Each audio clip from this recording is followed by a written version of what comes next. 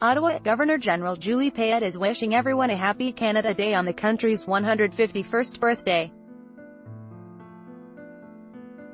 In a release this morning Payette says, wherever you are today, whether you're in Canada or abroad, wear your maple leaf proudly. This is your celebration. Payette, a former astronaut, says her first year as Governor-General has been quite a ride. Justin Tang, the Canadian press file photo, the former astronaut says her first year as Governor-General has been quite a ride, allowing her to meet exceptional Canadians from all origins as she travels around the country.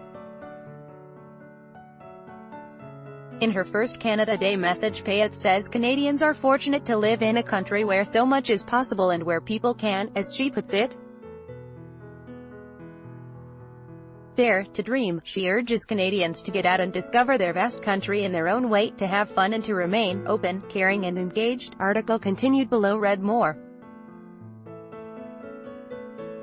Canada Day marks 50 years of friendship and a celebration of life in a new land Canadians apologize a lot, prefer chocolate glazed Timbits, Forum Research Paul editorial, on this Canada Day, we appreciate who we are more than ever.